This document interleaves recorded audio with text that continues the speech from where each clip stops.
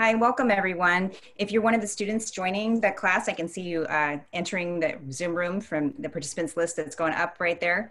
Um, please sign in your name to the chat. And then if you have a question for June, you can go ahead and put that in the chat as well. We will be getting to questions at the end so that if you have any questions for her, um, you'll have a chance to, she'll have a chance to answer you directly uh, toward the end.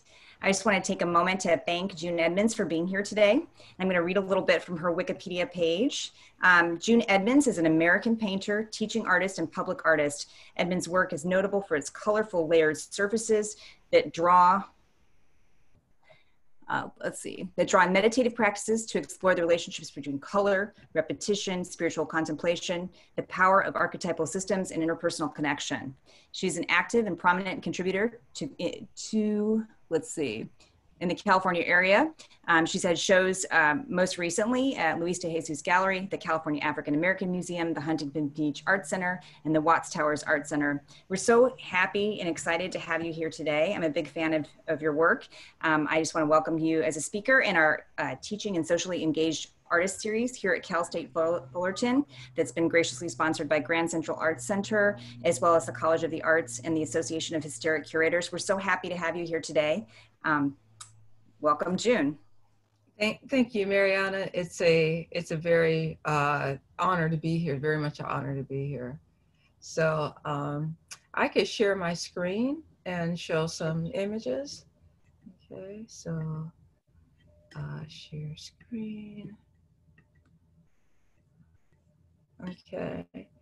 All right. So uh, this right here is uh, some early work, uh, actually from college. So the date is 1982. I was in undergrad at the time. And when I was in college, I was interested in uh, painting uh, people, you know, friends basically in interiors and just interested in uh, involving uh, still life and, and landscape in the works of art as well. So uh, this one uh, really shows everything that, that I was interested in. Okay. This next one, uh, you know, about a decade later, I, I, you know, right after school, I went to grad school at Tyler School of Art in Philadelphia. Um, I went to Skowhegan as well, and that was a great experience. Uh, came back to LA and, uh, you know, practice doing art, still doing figurative works. And uh, I was living in Long Beach. I was working at LA Times, and I heard that there were these MTA stations that were in Long Beach that were looking for artists. And one of the stations was like a block and a half away from my house. And I felt that that particular station should be mine. I felt like I was the closest artist there. And so I, I worked really hard on my proposal for it. You know, um, I at that time lived down the street from a library, so went to a library and got a video that I watched about 20 times about how to get a grant, you know, because I knew I was pretty new and up against, uh, you know, many experienced people. Uh, one of the one of the recommendations was to, you know, make sure that there were some very experienced people around you that you were working with. So, so I was able to do that. The mosaicist, her name was Monica Sharp. You know, she had done some wonderful commissions and I work with Peter Carlson, who is a fabricator, and he's worked with, you know, just about everybody and's been in the business for a long time. And so, um, so I was able to get the commission, you know, with with uh, that team.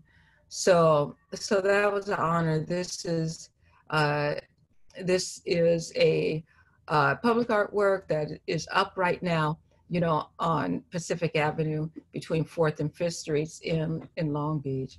So I've done a few public art, you know, works of public art, and did those around the, uh, the 90s, you know, and into the 2000s as well. So, you know, about 10 years later, you know, I got into uh, abstraction. And I, I was always interested in abstraction and, you know, uh, being very painterly in my artwork and, interested in texture and, and uh, the brushstroke and thing like things like that. And, you know, color was always sort of uh, forefront for me.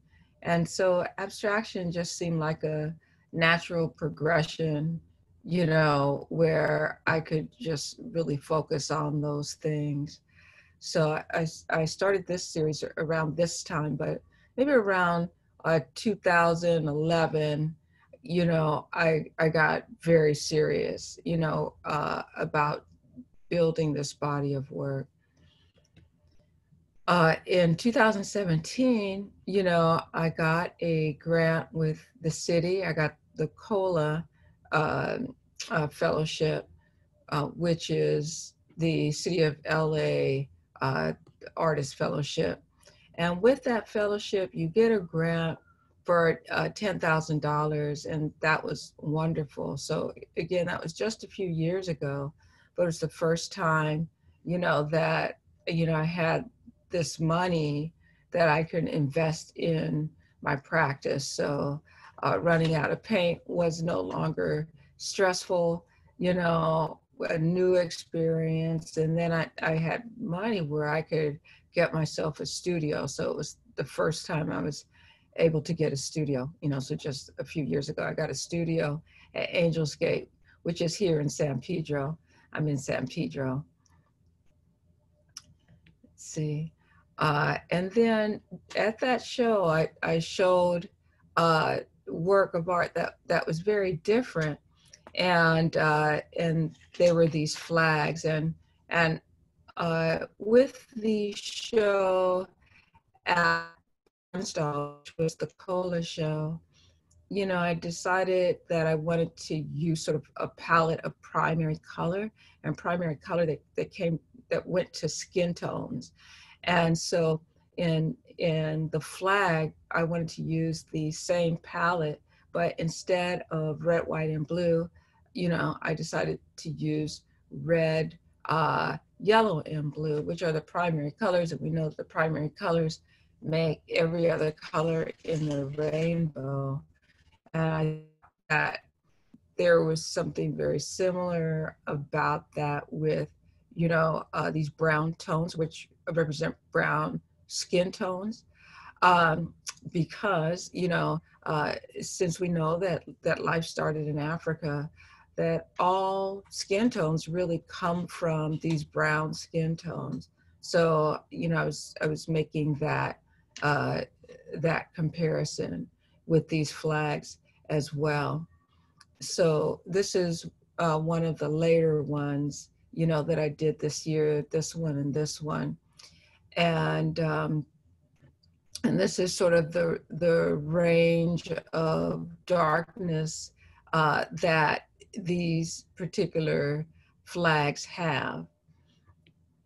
And I also uh, did some drape flags. Sort of the original idea was sort of based off of these black drape flags that that you know I saw in a dream. And uh, I was in a show the beginning of the year, at Jill Moniz uh, place quotidian and uh, she arranged the flags a little bit different. So I, I like the way that she arranged these and sort of consider this to be a collaboration, if you will. And um, at one point, you know, about uh, maybe 20 years ago, 15 years ago, you know, I, I uh, knew I wanted to teach in college. I had been trying to teach on the college level, you know, since I got out of school in 1984. But, you know, the jobs were really limited and they weren't hiring black people that much back then. You know, they don't hire black people that much now, but hopefully that's changing. But, you know, I decided, let me uh, hone my uh, drawing skills and so I did a series of, po- of portraits just to practice that. And, uh, but maybe I did this one before 2005 because I did get one uh, job, a couple jobs in college where I was teaching, you know, drawing and uh, and design.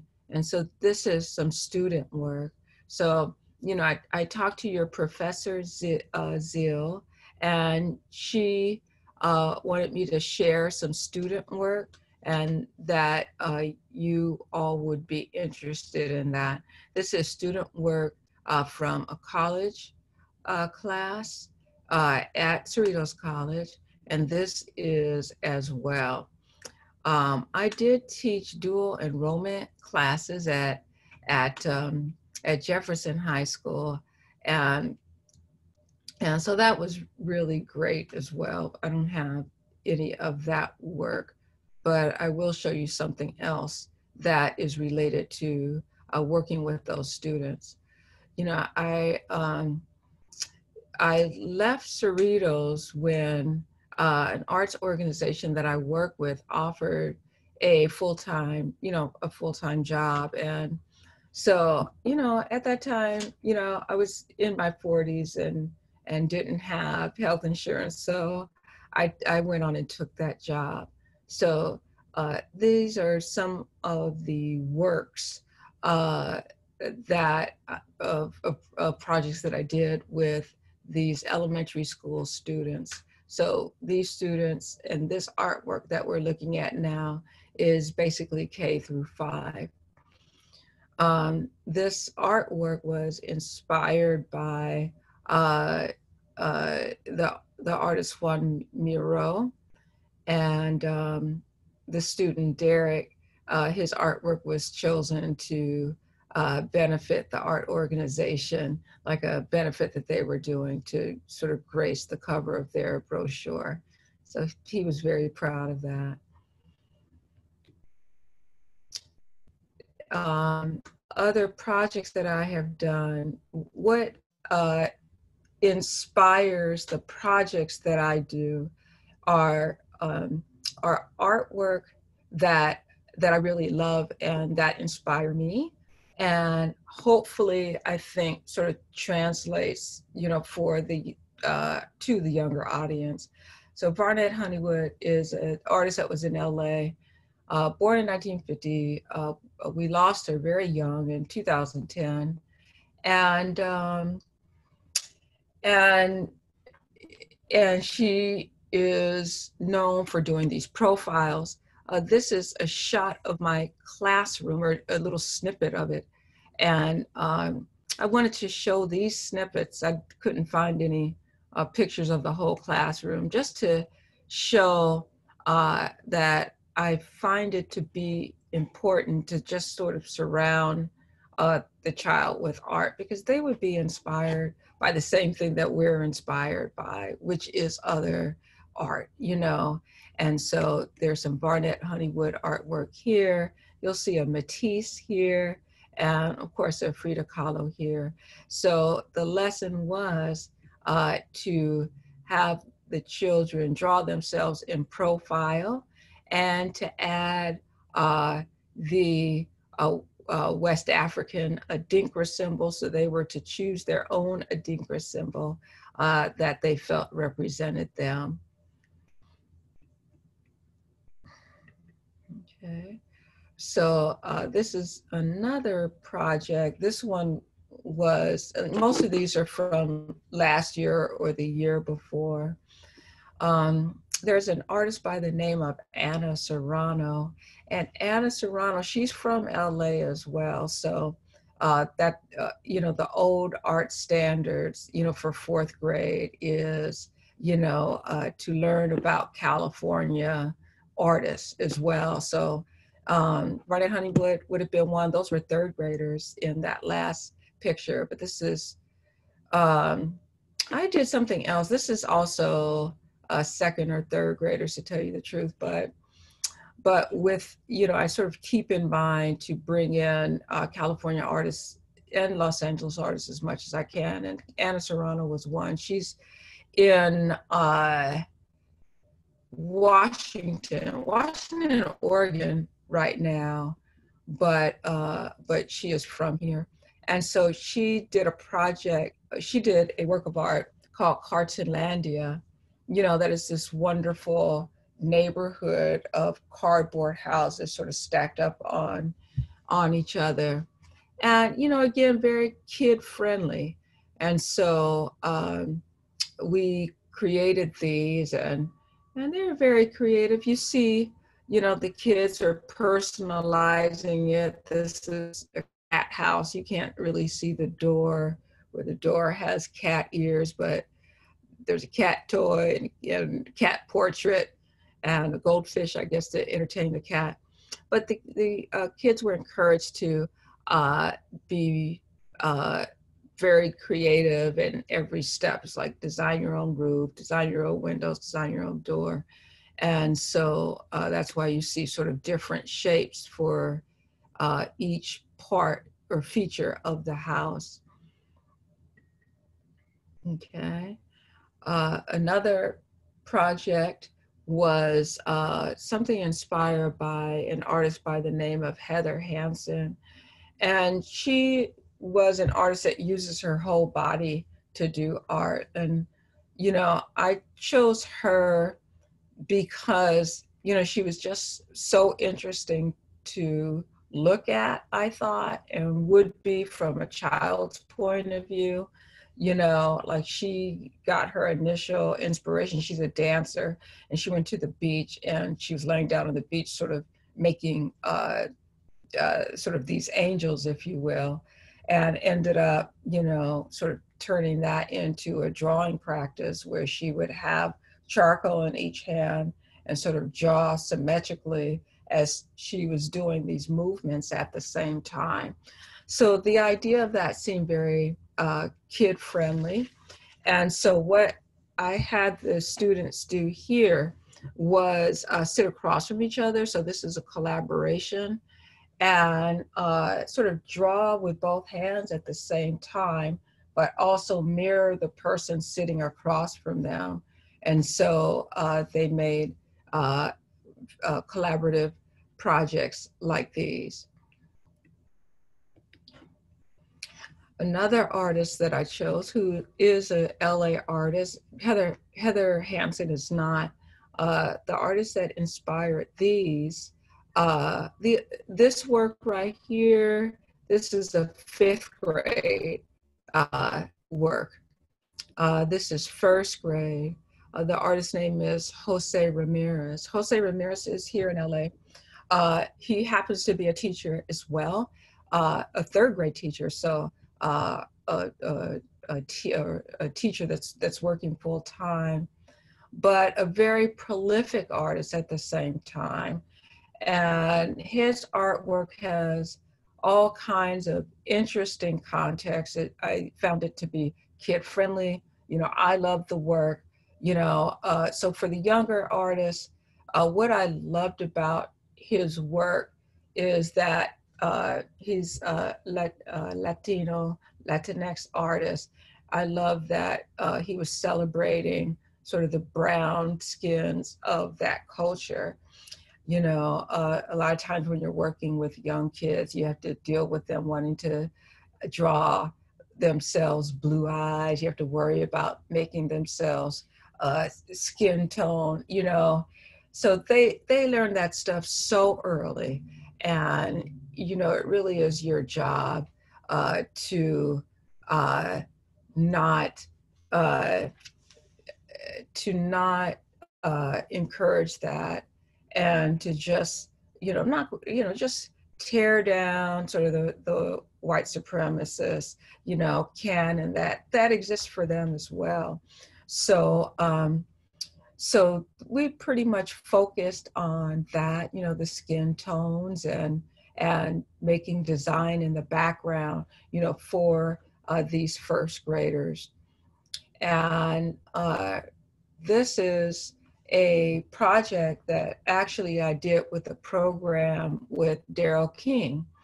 And uh, Daryl King was, was working at my art organization uh, in uh, a program that, that goes into different schools and places artists uh, in the schools to work with teachers and work with their curriculum uh, for about eight weeks. So I really enjoyed doing that.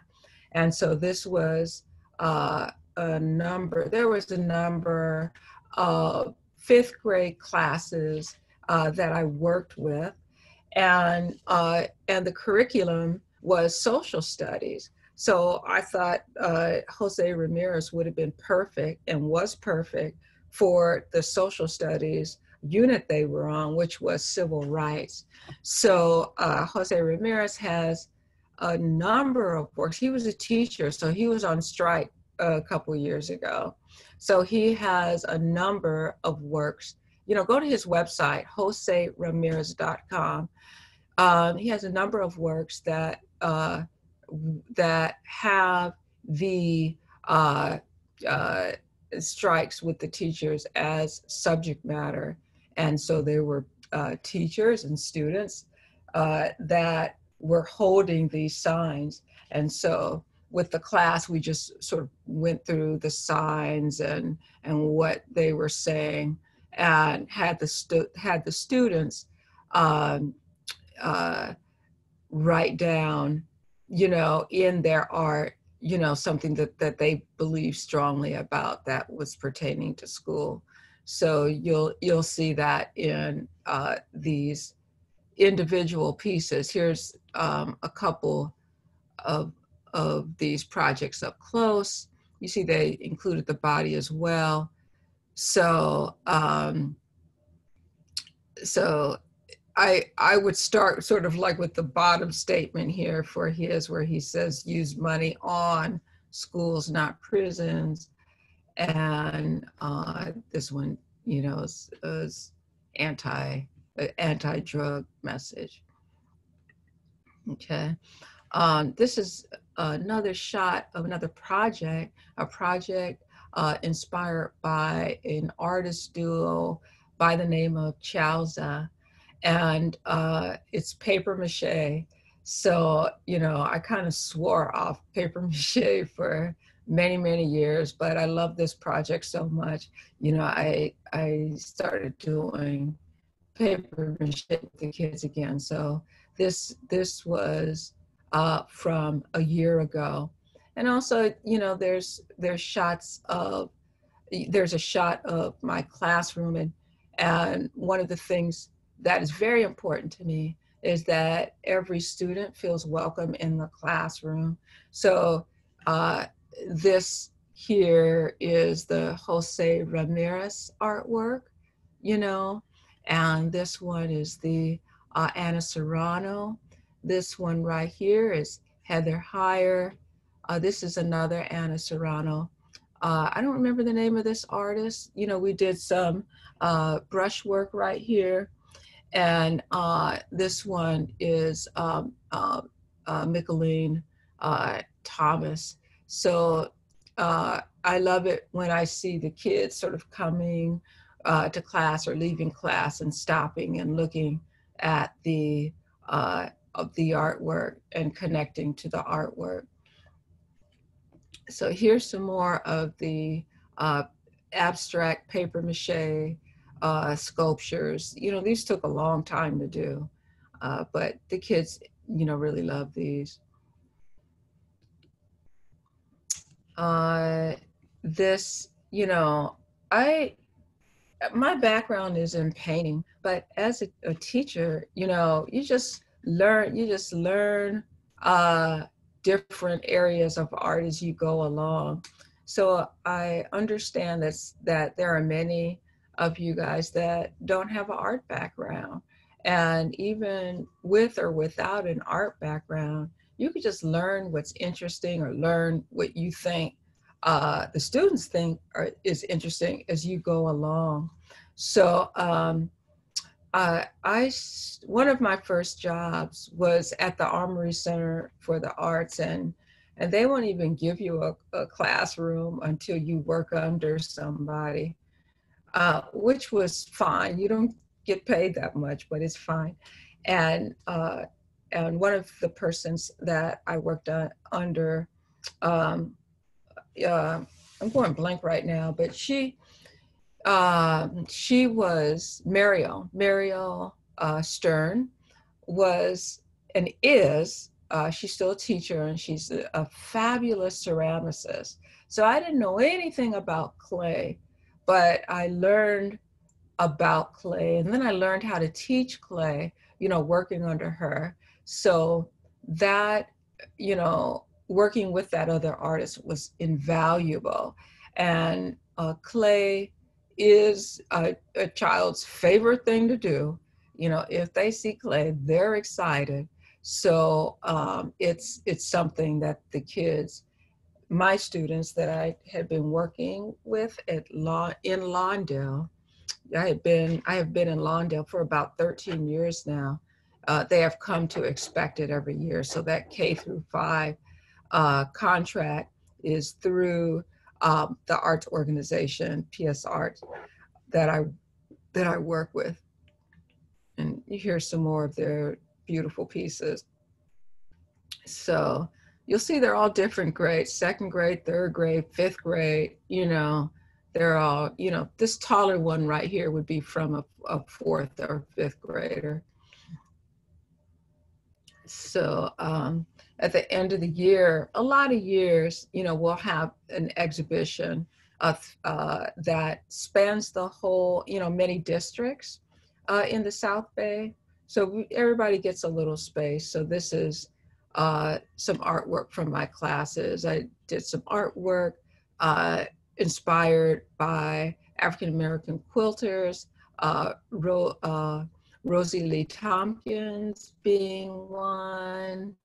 Uh, I don't I don't remember who the inspiration for these abstracts were.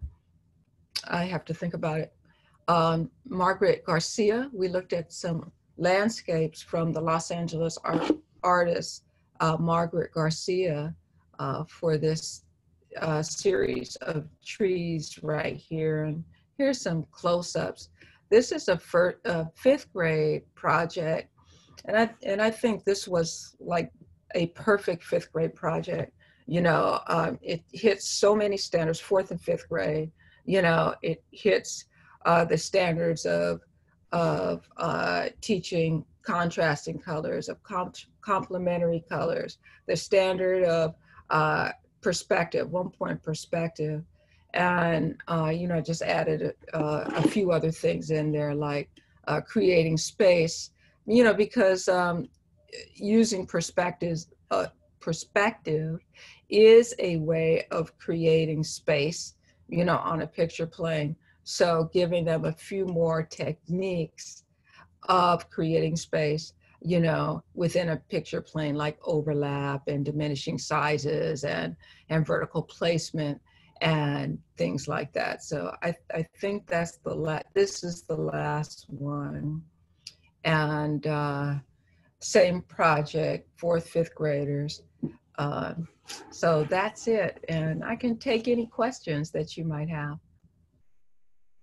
Let's see let me read some. Thank you so much. The your student work is just stunning. It's really beautiful to look at.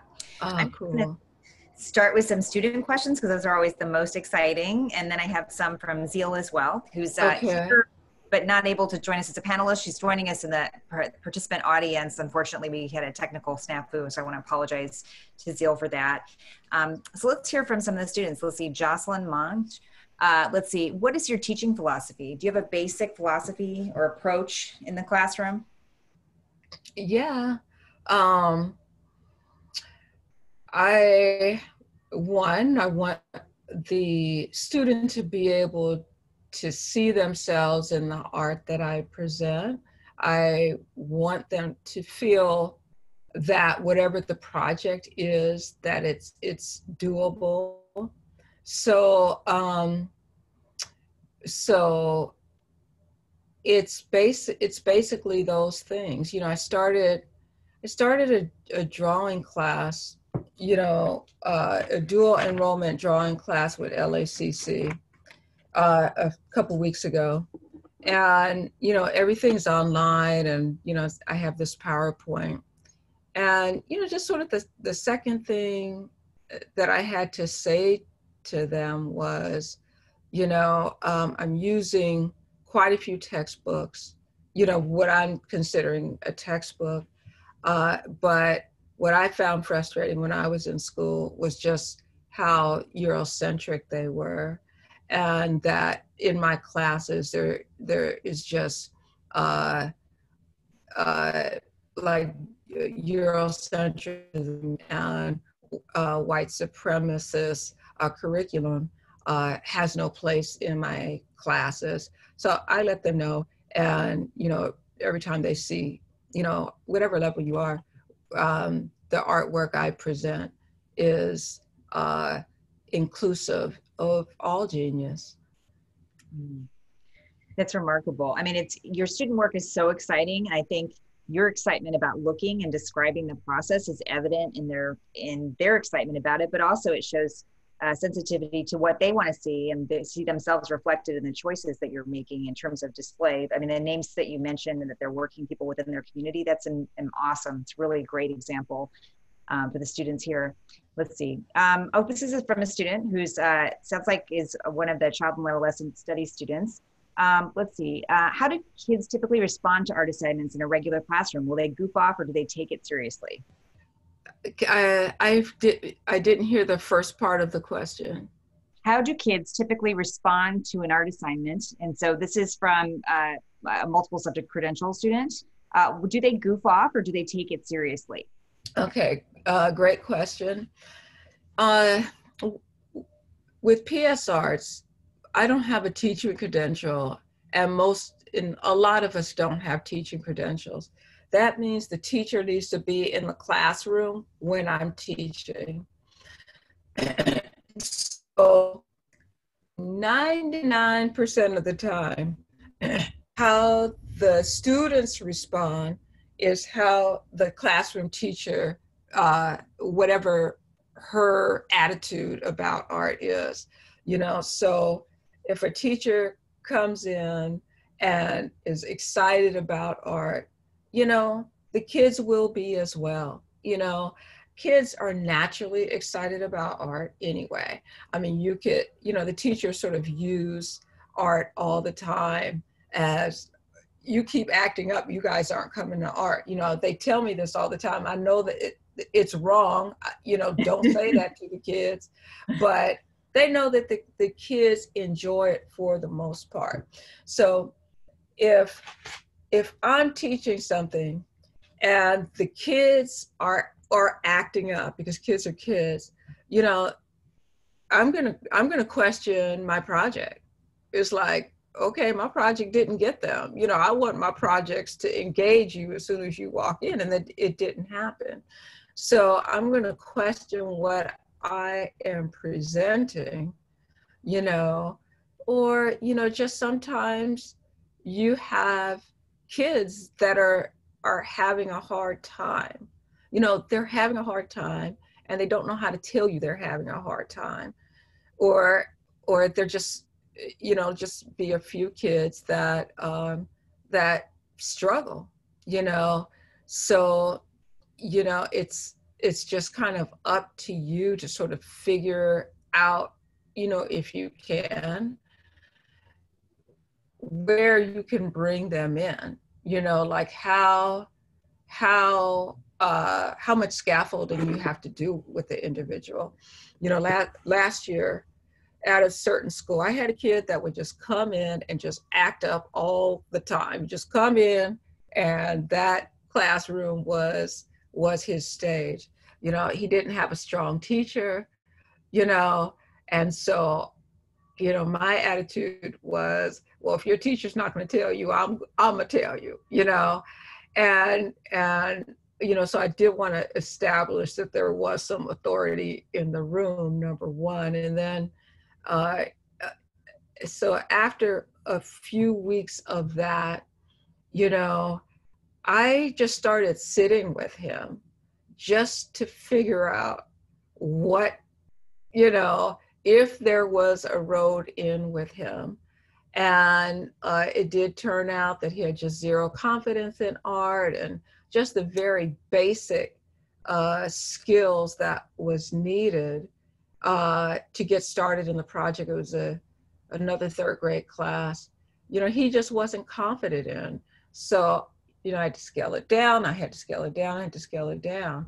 Uh, but eventually, you know, he did get to work once it was scaled down uh, to a level that he felt comfortable with, you know. So, uh, so as a teacher, it's about balance. You know, like a student like that could just take all all your time, and you don't have time for the other students. So, so you have to really figure out, you know, how how much uh, time, you know, uh, you can uh, commit to sort of bringing you know the other students in you know uh, you can't you can't spend the whole class you just want to find uh, what how you can frame something so they can just be engaged and independent I, I, like the way you're talking about it is finding an in with that kid because it is about building those relationships with kids.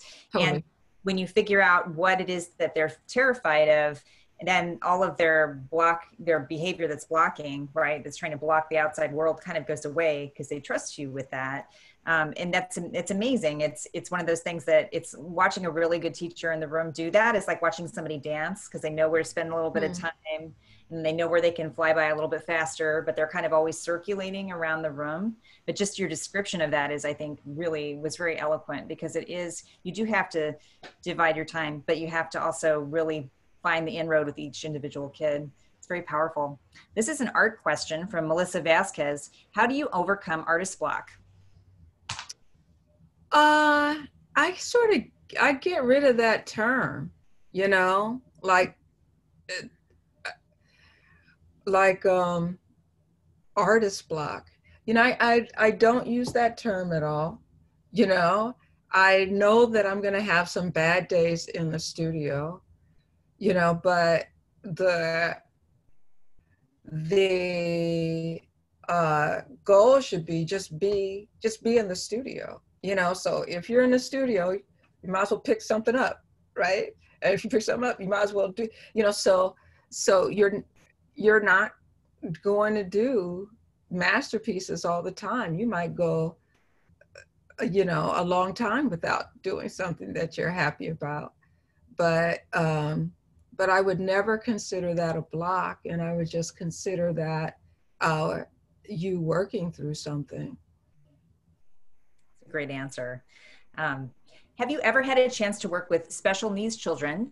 And if so, are, are there certain accommodations you might you usually use or incorporate when you're working with those kids? Yes, I find working with uh, special needs children uh, difficult and rewarding all at once it's difficult because every special needs class is different, you know, so I've worked with many. Uh, they're different uh, depending on uh, the ability levels of the students, and they're different uh, depending on the teacher. You know, the teacher might be a helicopter teacher, and and there's aides in the class, and it's hand over hand the whole time. You know what I mean? So if it's like hand over hand the whole time and, and you get a lot of that, you know, um, then you, you know, I I don't enjoy that because I'm I'm teaching the aide. I'm not teaching the student. You know, so um can you explain hand over hand because I know exactly what you're talking about. That's right. You know, so what happens in uh, in these life skills classes is that part of teaching is like say I'm a student and I'm getting ready to write or getting re- ready to draw. Well, the aide will put their hand over the student's hand and help guide them in their writing or in their drawing, you know, or, you know, in their sculpture or, or anything like that, you know, so um, I I find that most uh, special ed teachers, unfortunately, are uh, product centered, where most art teachers are process centered. Yeah, that's an interesting way to describe it, but it does make sense. Um, and I think you know what you're describing is that it's very frustrating when somebody immediately takes away the student's ability to make any movement that they can make and instead are it's almost like the aid is making the decision for the student about where the mark goes. Right. That makes sense if you're copying a letter it doesn't make sense if you're trying to express yourself. So it is always right. a, delicate negotiation for those it is delicate. Yeah. Yeah you know but but uh, many of the kids you know um uh they seem uh, to to to not be so cognitively present. And all they can do is sort of the same move you know what i mean? A, a scribble move or or whatever. So um whenever there isn't that much training mm-hmm. you know for teaching uh art for special needs and I've been doing, I've been teaching for a long time, since what, like 25 years? So mm-hmm. I look for, I look for it and I can't find it. So I think that that is telling, you know, that's telling. Absolutely. Yeah, and it's it is true. There isn't there isn't a lot dedicated to it for sure in our curriculum, and it's right. a big that needs to be filled in. It's an excellent point. Let's see, this is an interesting question from Alondra Gutierrez. Um, and it's about your funding for your classroom art materials, which I'm, you know, is always interesting to hear how teachers do this. Uh, do you uh, use your own money to provide art materials for your students? Um, or are you, or are they expected to buy their own, or how does the school handle that? Okay, yeah, so it, it really depends on where you work. If you're, if, of course you guys are in college, so you know you have to, you have to supply your own art supplies. Uh, for art, the nonprofit I'm with right now, we have a supply budget. And so they came up with some number where each kid, you know, uh, the budget is $5 or whatever for the year for a kid. And so it just really depends where you are. You know, if you're with a museum, if you're with a nonprofit organization, an art center, you know, they have different criteria uh, for budget. But um, but you're you know as a, a contracted i'm a teaching artist as a contracted teaching artist i'm not expected to use my own money to buy the supplies. So uh, you know i did something at angels gate a few months ago. You know i got reimbursed. I had to buy the supplies myself but uh, there was a stipend that included reimbursement of supplies. Um, where do you get your creative abstract color ideas from? Um, you know, they're just colors that I I naturally love to work with. You know, so um, I'm, I am working with a really light palette right now, and I I just enjoy manipulating color and experimenting and learning about it.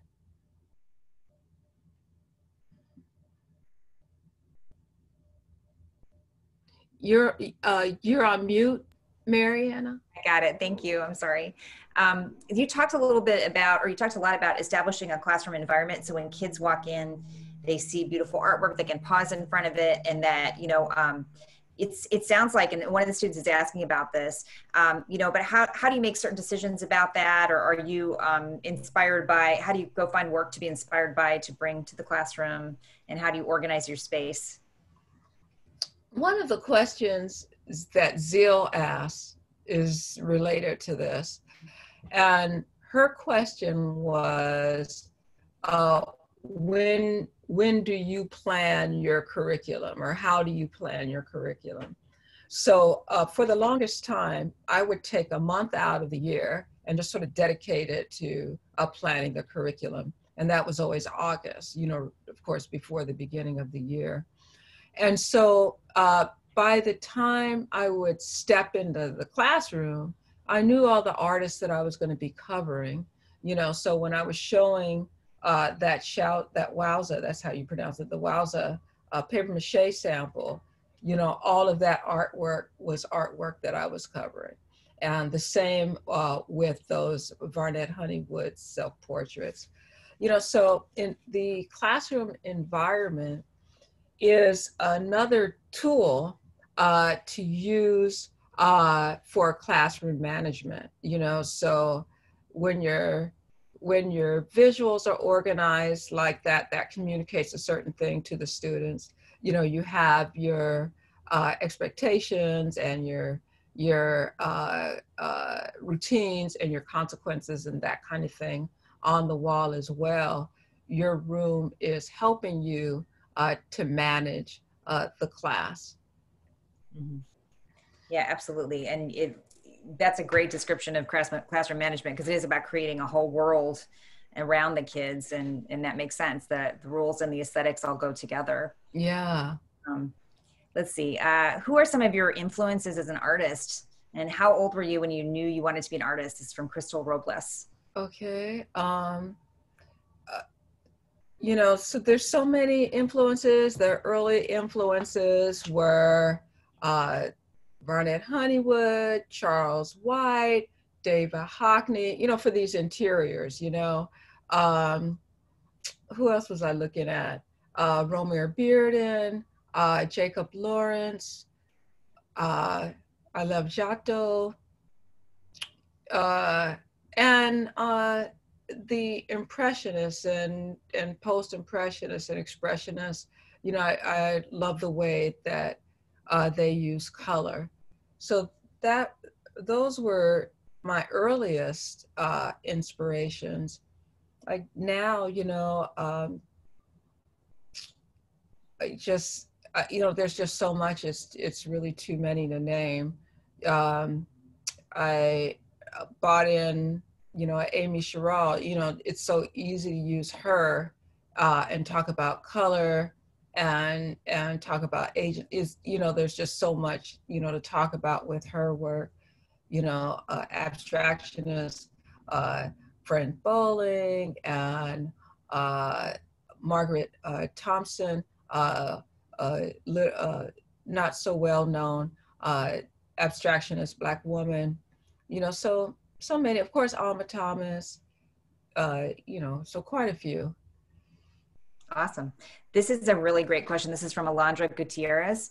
I'm very happy you included a lot of cultural diversity in your artwork and even having culturally responsive classrooms. Uh, let's see, the walls and different with different artists and cultural backgrounds. Considering cultural diversity, how do you go about covering controversial issues in your classes? It it really depends. It depends on the grade. Uh, it de- it depends on the school, it depends on the class. Uh, so when I was doing sort of those those self portraits with the with the Ramirez, see, I you know I don't know, I'm not versed on all the curriculum from K to five. So one thing that I loved about uh, teaching with the fifth grade teachers I love their spirit, you know, where they were coming from. I love their progressiveness. And they were teaching about, you know, the civil rights movement in the 60s. So so with that bit of information, I knew I could talk about anything, you know. I could talk about very controversial issues because these teachers were so uh, conscious that if even if I wasn't presenting something, you know, fifth grade uh, ready, you know, for those ears, that they would uh, present with me to uh, make some of that harder subject matter uh, presentable. So uh, if I'm working with younger students, I, I keep things very simple. Uh, and with older students, I, I will go out and, and, uh, and say a little bit more, but you know, it just helps to have the support of the teacher, you know, and, and a lot of times you don't have it. Maybe the, the teacher is, is very, uh, uh, nonchalant, you know, uh, what's the word, and very, you know, just uh, you know, just kind of uh, uh, non-engaged. And so, so you're having that conversation by yourself.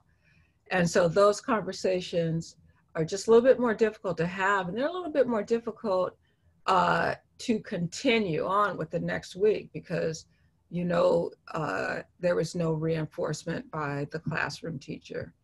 But in the college in the college class, you know that I'm teaching now, it's been a while since I've taught a college class. You know, I I feel like I, I let the students know who I was in the beginning. So, you know, I feel like I can talk about anything. That's awesome. Uh, so I know Zeal likes to end with this question, or she's this is a big question that she always asks: is Can you tell us um, like a favorite memory in the classroom, or some a memorable event, something that happened that really stood out to you um, in all of your years of teaching? Okay. Uh, you know, I was mentioning that I taught a dual enrollment uh, class, and this was at Jefferson High School. And, you know, one year I had a huge class. It was huge to me. It was like 50 students in the beginning.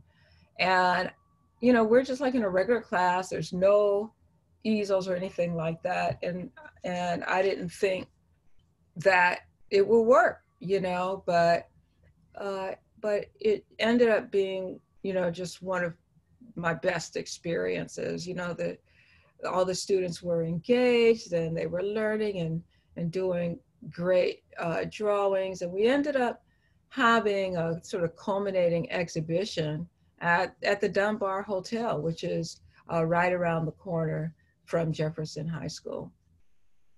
That's amazing. What a cool end of the exhibition to be in a beautiful space like that. That's awesome. Yeah that's such a and, and that's an interesting point so like you know the end of the semester that is something that um, you know for our final assessment of the critique do, how young do you um, you know because i know we always do great displays for young kids but taking the work into the community or showing it in a way that it's not normally looked at can be so influential and then also just having critique with young people can you talk a little bit about display and some i would love to you know um, it, you know like critique with young people like even with kindergartners, I'm just amazed at how in tune they are with uh, visual uh, communication.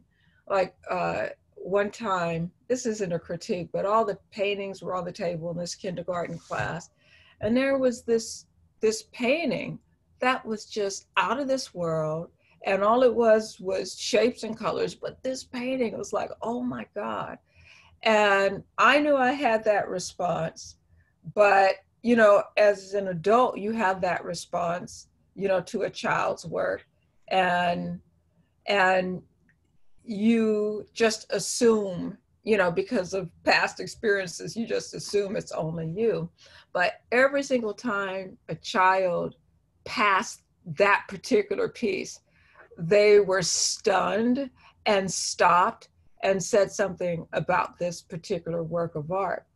So uh, that that just never left me. That something uh, so uh, beautiful and so nonverbal could could be such a beautiful uh,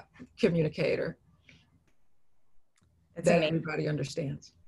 Yeah, I mean, it, it is. That's an amazing thought. Um, even to end on. I was wondering if there's anything that you didn't talk about that you'd like to talk about or share um, in either area, either teaching or art or things you're thinking about in the studio right now. Um, well, I, I, think just when it comes to uh, teaching art, uh, and this is this might be a repetition, but but just bring into class what you love and and what you connect with you know no matter what it is. And uh, you know one of the places uh, that i get ideas another one of zeal's questions is just going to museums or galleries. And as an art instructor you start developing uh, sort of a, a, radar, if you will. You know, if I go to a museum or art instructor, a fellow music, you know, art instructor, then that's what our communication is. Oh, look at this. The kids will love it. you know, and and so you just start uh, uh, building an affinity of artwork that that you know you love that you you think the kids will love as well so i just think that's the best place to start when uh, constructing your curriculum Thank you so much. That's an amazing thought, an amazing idea. Um, it's been such a pleasure to have you come and talk to us today. Thank you. Thank you.